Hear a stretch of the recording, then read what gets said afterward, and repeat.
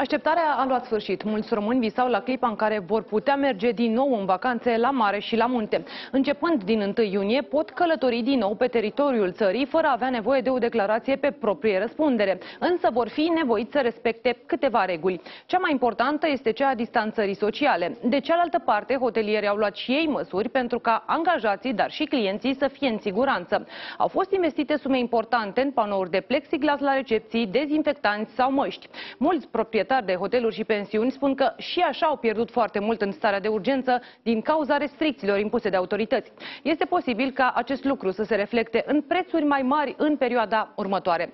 Am analizat câteva variante pentru concedii atât în România cât și în alte țări din Uniunea Europeană. Începem cu litoralul. De exemplu, două nopți de cazare pentru două persoane în weekendul 5-7 iunie în Mamaia, la un hotel de 4 stele, costă 1093 de lei. Pentru aceeași perioadă, prețul pentru două nopți la un hotel de 4 stele în Corfu este de 595 de lei.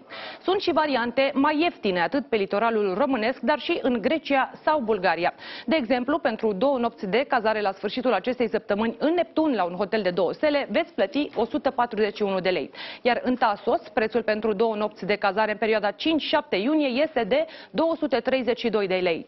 Pentru un weekend la Balcic, în aceeași perioadă, prețul este de 147 de lei.